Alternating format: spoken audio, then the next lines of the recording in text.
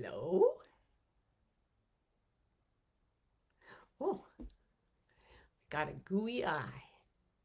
That eye, gooey. I think it's, it's, it's here. I think we're live. I think it's the gathering room. I made it to the gathering room, even though my scarf is sort of bunchy. Ah, hi, nine people. How you doing? It's good to see you. You're Akumi. You're the first one on today. Woo! Jessica, hey, thank you for asking about the painting last time. Still there. Um, and Christina and Audie and Donna. Hi, gorgeous. Camille and Emily, Elizabeth and Anne Karine and Laurie. It's so fun to see old friends. The coolest thing, hi Anne, hi Cleo, is that we we weren't necessarily old friends when the gathering room started, right? Like I didn't know all of you so well. Hi David, how you doing? Out there in Phoenix, Dale, hi. Kathleen and Marnie and Karen and Kazia. It's just fabulous. Hello, gorgeous ones. How lovely to see you here. Okay, so I'll start in a minute here because if you know anything about me, you know that I believe in science and also that I am plagued by miracles. Not so much plagued, but they happen. I notice them happening. Now, I want to talk about them because periodically I just have to, but also because they come around. They seem to come around in this cyclical pattern. And um, I have to make it very clear that I believe that they are all completely scientifically verifiable. It's just that no one has verified them yet. So when I say miracle, I do not mean something that is outside the laws of physics. I do, people keep jumping on, so I'm I'm kind of like, oh, I should just slow down here and reintroduce my topic. The topic is miracles. Yeah, and I don't think there is anything that is outside the scope of uh, science that is the careful observation of the universe and the accurate calculation of trajectories and so forth. I believe that ultimately everything that happens happens within the laws of physics, but the laws of physics are not known to us um, in their entirety. We know more than we used to. We don't know that much. Um, I'm sure there's a lot more that we don't know than there is what we do know.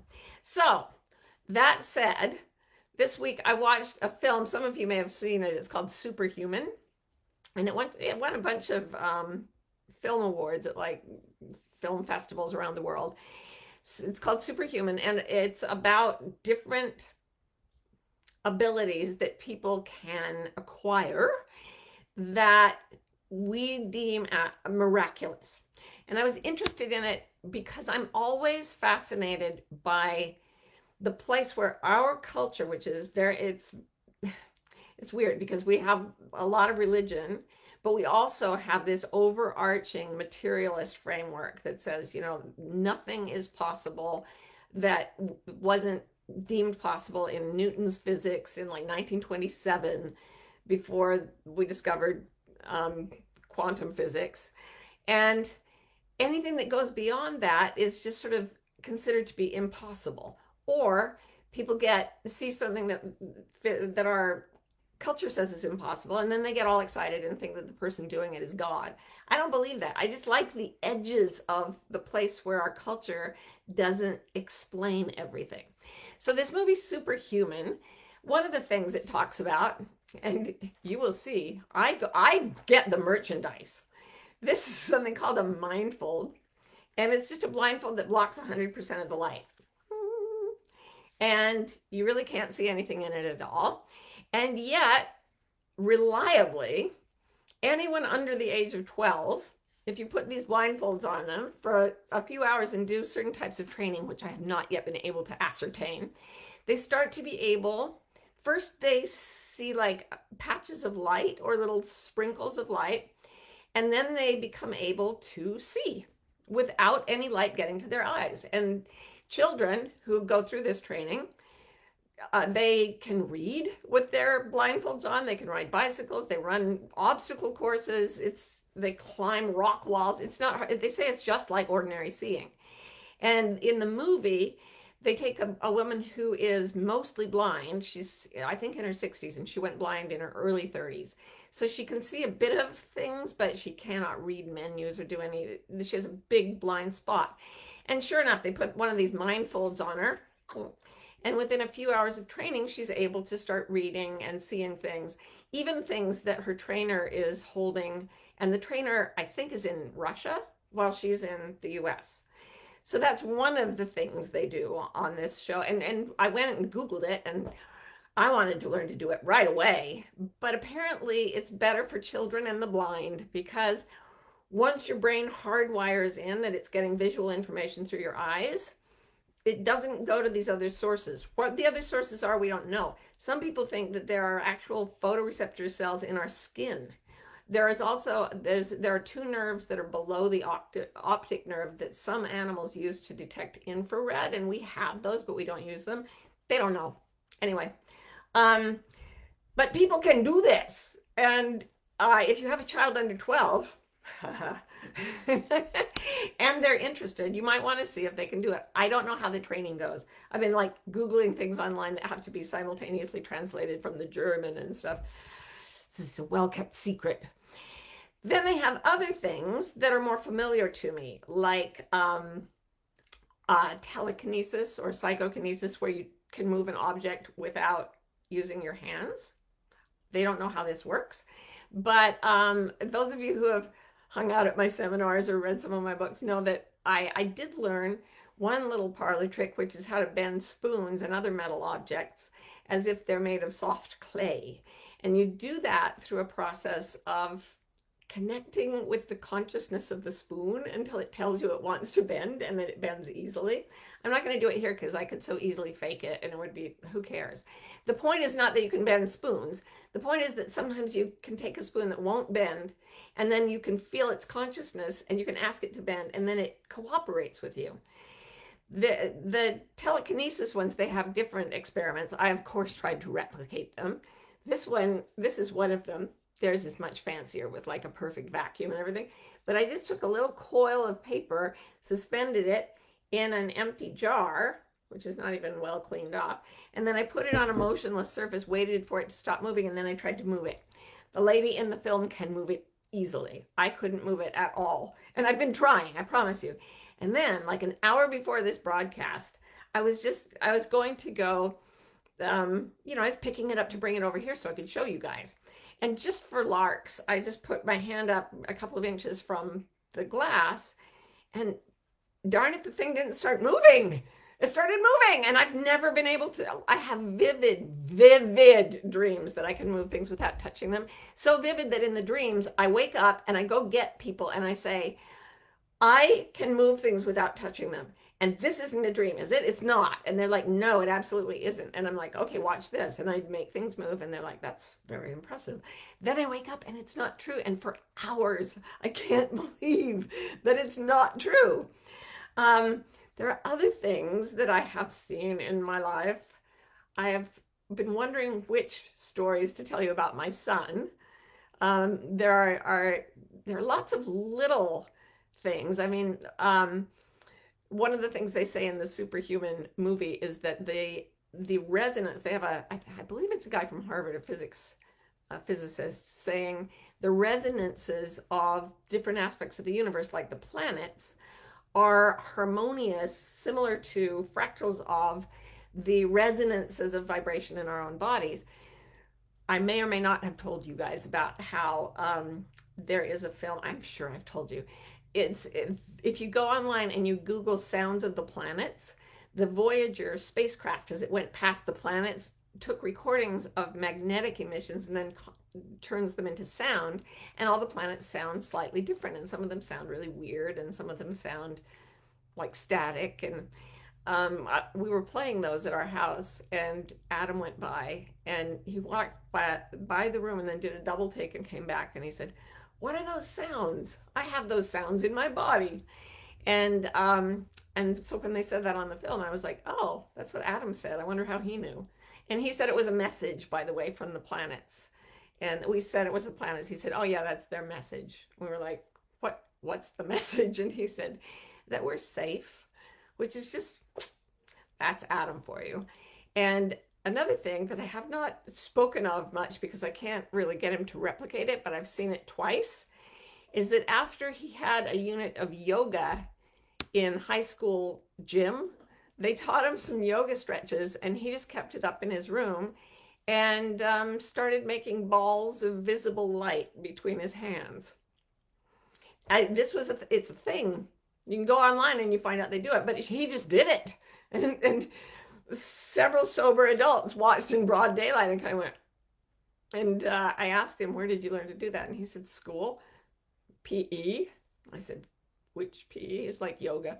So these things happen, you guys, and it's really fun to experiment with them because it's not the most like deeply emotionally um, moving thing that, you know, like I often talk about uh, issues where the Venn diagram between spirituality and emotionality intersect, right? So it's like deep and soft. And this is more like a physics experiment. But here's the thing the Venn diagram does cross because when you get into a state of complete alignment between what you feel in your heart and your emotions, what you know with your mind, um, what you're actually doing in the world. So, this is what I call a condition of complete integrity, where you know what you really know, you feel what you really feel, you say what you really mean, at least to yourself, and you do what you really believe is right.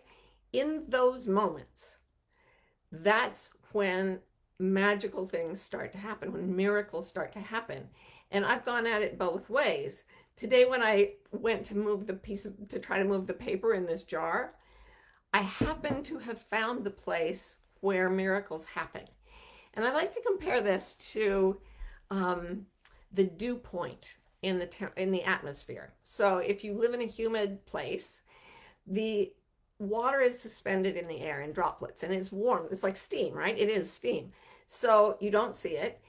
But as the temperature drops, it stops being steam and it starts being liquid water.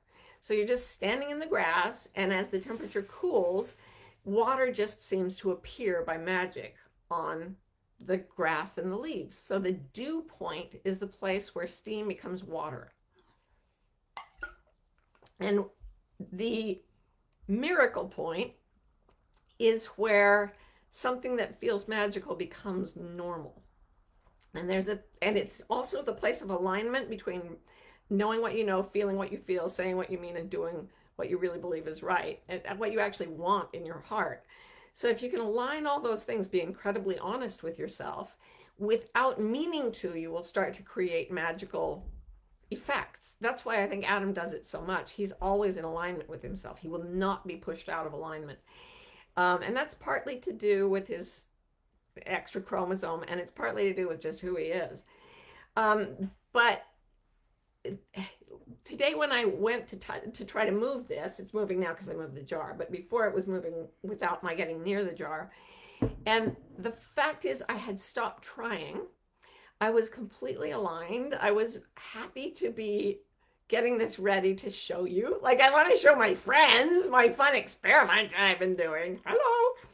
But um, so I was in this state of cheerful, relaxed alignment where magic felt normal because I've been thinking about the many, many, many things that have happened to me over the years that just are would defy statistical odds at such an enormous level, like crazy um, coincidences.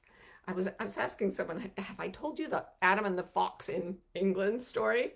This is just sort of a rando story, but this is the life I lead few years ago, we were going to South Africa via London, and it was the Queen's Silver Jubilee. So London was absolutely packed, um, swarming with tourists. And we were there for a few days and to, to adjust to our jet lag, and I was doing some press stuff. So we took Adam out for a walk, Karen and I did. And um, this was before Ro joined us. So we were out there, the three of us tr trudging along, and London is incredibly circuitous, as you know if you've been there. And at one point, Adam said, This city is confusing. And I said, Yeah, it, it, it confuses everybody, not just you. Then we went to the Tower of London. And once we got in there, we got these little headsets. You got a map and a headset, and you turn on this little recording, and it walks you through this map of the area while it tells you the historical significance of the different sites you're seeing. It's cool. And so we said to Adam, Do you want the little guided tour earphones? And he said, No, no, no, this I recognize. We were like, You do? And he was like, Yeah, yeah, I've been here before. And I said, When? And he said, 1658, or I don't remember the exact date, but it was definitely the Middle Ages. And then he looked at the Thames, the River Thames, and he said, But the river should be over here. And I went to my little map, and sure enough, at a certain in the in the 1700s at some point they built out the land so that it displaced the flow of the Thames so they could get more land to build on. And he was he had apparently been there before they had done that. And he remembered that. And so I thought okay well he's seen some kind of knight errant sort of medieval jousting thing and he's into it and I said so um so did you have armor when you lived here or when you came here before and he said oh, no I would never wear armor. And we were like, why not? And he said, and he's very hard to understand. He said, because it yama makussin. We are like, yama makussin, what does that mean? But we were really obsessed with getting it out of him. Yama makussin, what does it mean? And we couldn't, he tried to spell it for us and it was C O N R D 9 7. Finally, we gave up and then we were talking about something and he said, that, that's the word, that's the word the word he was looking for when he said Yama Makusum was consciousness. Armor limits my consciousness. We are like, okay. Armor limits his consciousness, and he was here in 1658. So I left Karen and Adam on a bench, and I went inside this museum, and there, I'm telling you, the place was swarming, swarming with humans. And I hear this big commotion outside the museum, and I went back to where Karen and Adam were sitting on the bench. And Karen told me that as they sat there, there was a hedge uh, next to a nearby building and a fox at two in the afternoon in a crowded, you know, very bright sunny day jumped out of this hedge and ran around for a while. And the ravens were alarming and little girls were screaming. And then the fox ran right up to where Adam was sitting. He sat down and he stared into Adam's face and all these people around were, rah, rah, rah, and then the fox was there for a few seconds, and then boom, he took off. And Adam turned to Karen and he said, I know that, fox. this is my life, people. And what I find is that Adam lives in complete alignment. And when you do that, weird things start to happen that our physics say uh, shouldn't happen, but they are real and they are replicable. And when you get there, the thing that to, to do the miracle, you must be pulled into the place of happiness. That's the dew point of magic. Normal, happy, joyful alignment, not stress, not trying, but just alignment with what is. And when you get to that space, bang, stuff starts happening. So I see there are questions coming up, and I am now going to read them and answer them. Hi, Donna. So Donna says, in order to access that magic, which I believe is always possible, is a state of joy essential? Can you access that alignment even if you're feeling sad or troubled? Yes, you absolutely can. The one thing that you can't do without is a feeling of peace. If there's no peace in your heart, sorry, I have allergies, which I cannot miraculously cure for some reason. Um, if you're in a state of agitation or grasping, it will not work. If you're in a state of relaxation and peace, you can be deeply, deeply sad. You can be violently angry. You can be even um, afraid of what comes next. But if you can connect with peace, Anita Moorjani, who is a woman who basically died of cancer, um, she, when she died, she after four years of fighting, she was basically her body weighed less than 90 pounds. It was basically a skeleton full of tumors the size of lemons.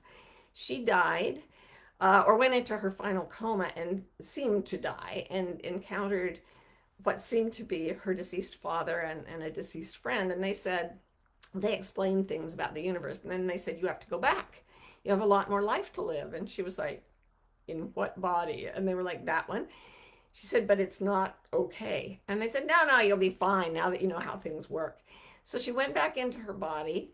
And where she had been a very fretful, anxious, tense person, she came to completely certain that everything was fine. And within three days, her tumors were, had uh, reduced by half, and within nine days, she was cancer free. So, and I've met her, and she's one of these people who's just constantly, radiantly um, miraculous. But she's very clear that she experiences sadness, fear, anger, just like all of us. She just never loses touch with the context being a place where everything is ultimately benevolent, everything's working for you, and death is something that you move into and out of, just as life is. And so you lose that massive anxiety of death that people have. And then, even in the drama of life with all its emotions, if you can connect, she said, if you can find acceptance of your situation, then you can reach peace. And from peace, you can go to, to gratitude. And from gratitude, you can go to joy. And she said, if you need to walk that, you know, it's kind of like a, a line of pebbles to show you your way back. From there, she said, everything is being generated. That's that's the dew point of magic. So if you can't feel good, at least accept that you feel bad. And in the acceptance is the dew point of magic. And that's where miracles really do happen. happen. Um, she doesn't usually say this, but uh, Byron Katie, who is another person, she's a person who's just fully awake and she never um, believes her thoughts. And so she experiences reality as completely present and benevolent. And at first, it was hard for her to adjust this state of mind to the world as it was. And she doesn't, she never says this, but one time I read in something she'd written that after a few months after she had gotten into suddenly into this state of awakening, the miracles had reduced a little. and I was like, what miracle? And she's like, well, nothing's a miracle. Everything's a miracle. What do you think? Um, so she's not claiming to do any magical tricks, but uh, there, a lot of things started happening around her, and I've seen things happen around her as well. So it's just people who are accepting where they are in the world. Adam's not a rocket scientist. He's kind of the opposite, right? But he's completely aligned with what is and he never loses his peace. If you ask him, and this is not just Down syndrome, if you ask him, like, how are you feeling, he'll say, uh, like at dinner every night, we talk about the best thing that happened to us during the day and the worst thing. It's, this is from um, the Benedictine monks. That it's called the consolation and the desolation. The desolation is the worst thing that happened that day. The consolation is the best thing that happened that day. And it, when we say to Adam, so what's the worst thing that happened today? He's like, nothing ever, nothing bad ever happens. And it's not because he hasn't had pain and suffering and sorrow, it's because he never leaves a state of peace, no matter, and within that, his emotions flow, but they, they aren't his reality. So if you can get there, you'll be fine. Ellen says, Does hoping for a miracle work? I'm thinking you need to be in a, in a place of peace and not desperate, a place of calm and not desperation in order to experience one. Absolutely. One of my favorite things that Oprah used to say is the universe will not reward your desperation. So most of us try to work miracles from a place of desperation. This is why I'd love it if you'd go watch Superhuman and just play with things when you're just having a pretty good day.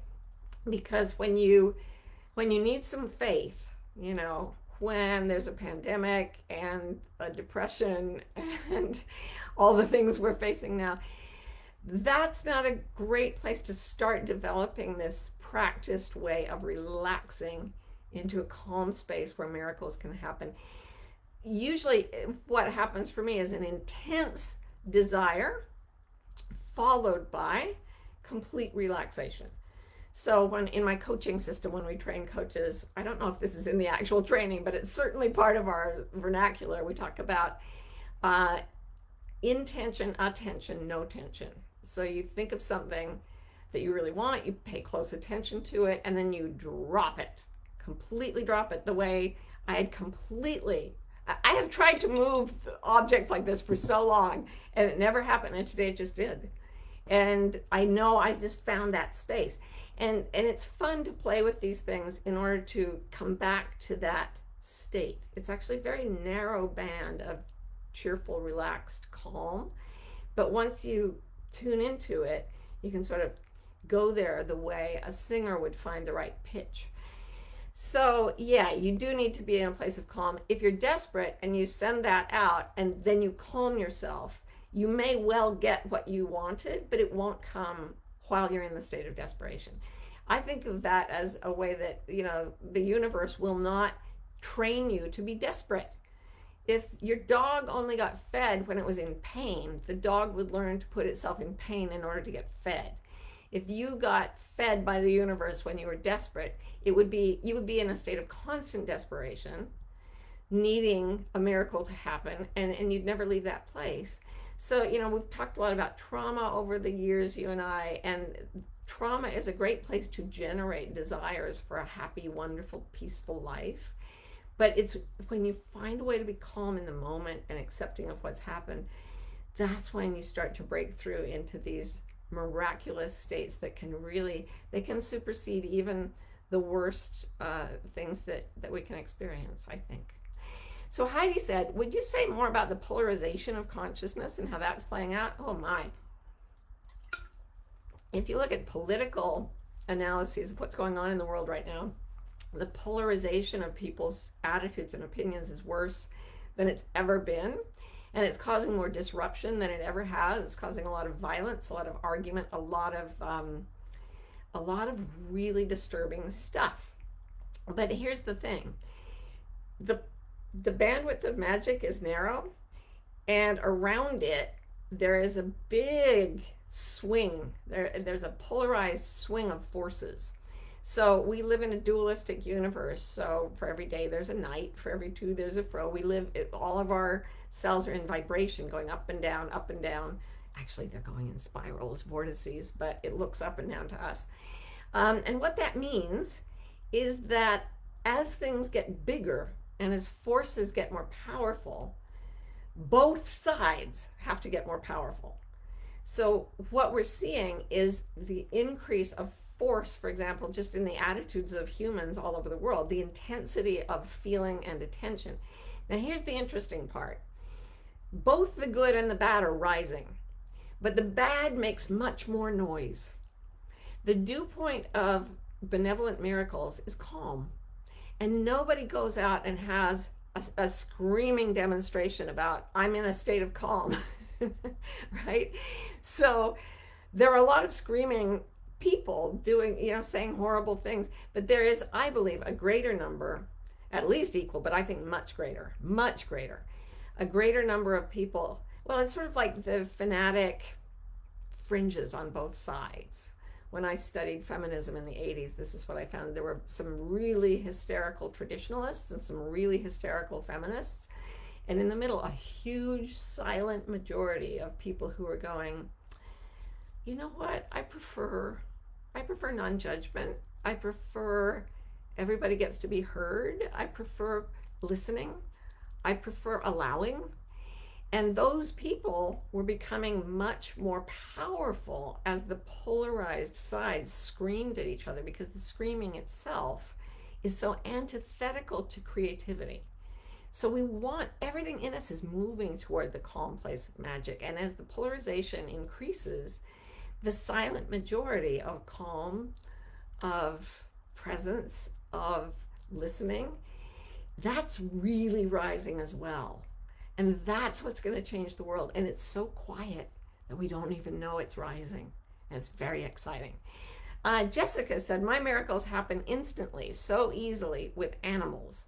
I'm working on transferring that to productive life circumstances. Can you comment on that transition from fun to helping yourself? yeah, animals, they're always in that state of presence. So it's really easy to get animals to respond when you reach that zone of energy. And I, go on endlessly about this. We will talk much more about it as the gathering rooms go on because I'm just obsessed with it. my picture of Diana with her boar. If you haven't read my book, Diana herself, that's her talking boar because I'm obsessed with animals. But when you're with an animal, what's happening is that in order to connect with it, you're reaching the dew point of magic. You're reaching presence and calm because all animals like to live there. All life likes to be there. Heck, spoons like to be there. so, as you reach that and the animal reacts when you leave your space of calm, if you get grasping, if you try to force a miracle, no. Here's the way to do miracles you relax them into being. So, the way you'd relax with an animal to get it to be calm, you relax with the world and it starts to be calm. You relax with a piece of paper and it starts to move. You relax with a spoon and it will bend over for you. Um, and so, as you relax and relax and relax, eventually you hit a place where life has troubled you, like a traffic jam or a disagreement with a loved one that you've had many times. And you've practiced relaxing miracles into existence. And so you go there. And it's not to make light with your hands, and it's not to bend a spoon or move a piece of paper or see with a blindfold. But all of those are helpful because they teach you that dew point. And when you're there, everything wants to work with you. And so the traffic jam starts to flow differently, and the argument ceases to be an argument and becomes a mutual discovery. It becomes love. The traffic jam becomes love. Everything becomes love. If you bend enough spoons, you realize they're bending out of love. Everything is responding to love because love is the only real thing here. And that's not a miracle, that's the real world. Everything else is an illusion. So thank you for being with me in the illusion today and playing with these things. Go watch Superhuman. Tell me if you can see with a blindfold, um, or move paper, or do all the magical things like bring them to the gathering room and talk to each other about them. I guess nobody, you can't, I'm the only person who can show you, but you can all write. So have fun, have a miraculous week. And remember to just relax what you want into existence. And we can all get together and talk about it. Um, psychically with our blindfolds on. No. See you next week. Love you. And and live video.